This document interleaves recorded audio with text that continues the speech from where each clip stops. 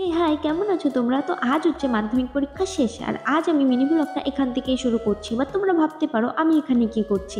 আসলে এখানে আমার বোন এক্সাম দিতে এসছে মানে আমার জেঠুর মেয়ে, আর আমি ওকে এখানে নিতে এসছি। আসলে আমাদের বাড়িতে একটা অনুষ্ঠান আছে, আর ওরও এক্সাম শেষ, তাই এখান থেকেই একবারে ওকে নিয়ে যাব। আমাদের বাড়ি থেকে রামচন্দ্রপুর বেশি দূর না, ওই দশ টাকা ভাড়া লাগে।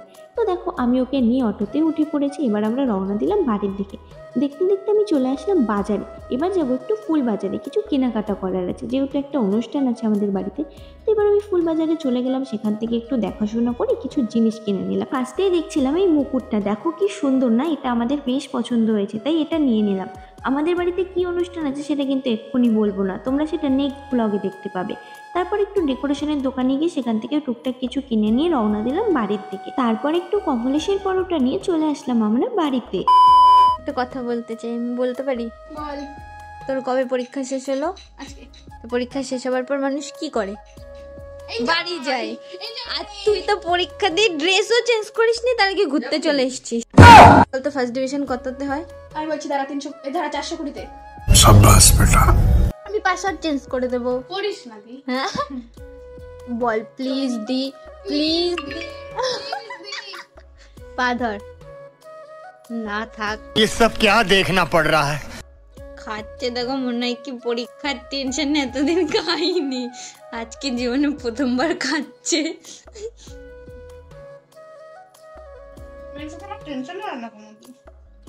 ছাতার পরীক্ষা দিলে ওরকম হবে। এটা হচ্ছে আমাদের বাড়ির নিউ কাজের লোক তোমাদের কেমন লাগল সেটা কিন্তু অবশ্যই কমেন্টে জানি আমাদের ইউনিক কাজের লোক। নাইস যাও ওটা ফেলে দিয়ে আসো কাজের লোক।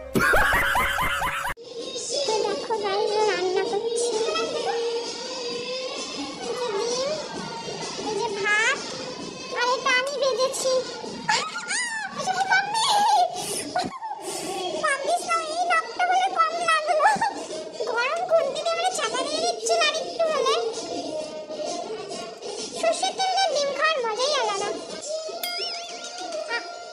One hour later. দেন বিকেলবেলা আমরা একটু বেরোচ্ছিলাম দোকানে যাবার উদ্দেশ্যে। গেছিলাম হচ্ছে আমি বৌদি আর বনু। তারপর চলে গেলাম দোকানে। তারপর এদিক ওদিক দেখে টেকে অনেক খাবার পছন্দ করে ফেলেছি। সব খাবার ছিল আমার গুলুগুলুর জন্য। দেখো কত খাবার পছন্দ করেছি আমরা। এগুলো নিয়ে আমরা বাড়ির দিকে রওনা দিলাম। তারপর দেখো ঘরের চোর আমার ললিপপটা নিয়ে ভেঙে যাচ্ছিল। কাউকে সাজলে কি? নিতে হয়। নিতে হয়। হ্যাঁ। আর যদি না সাদি তাহলে কুকুর আমি বললাম না আমি কাউরে স্বাদ না আমি একা একা খাব। আর কুত্তা মানে মানছে কুত্তা এখন থেকে কুত্তা কবি পরের জন্য তোর দাদু কুত্তা। হ্যাঁ, তোর ঠান্ডা লাগবে। ছোট মানুষ তোর ঠান্ডা লাগবে। সন্ধ্যাবেলায় আমাদের মনে হলো, চলো একটু মোমো বানানো যাক। যেমন কথা তেমন কাজ বানাতে শুরু করে দিলাম মোমো। তারপর এগুলোকে স্টিমে বসিয়ে দিলাম। তারপর আমার বোনের আবার শখ জেগেছে, উনি একটু রাক্ষসী হবে। তাই ওনাকে একটু রাক্ষসী বানিয়ে দিলাম। তোর নখগুলো কেমন লাগছে সেটা কিন্তু অবশ্যই কমেন্টে জানি তো চলো আজকের মতন, টাটা।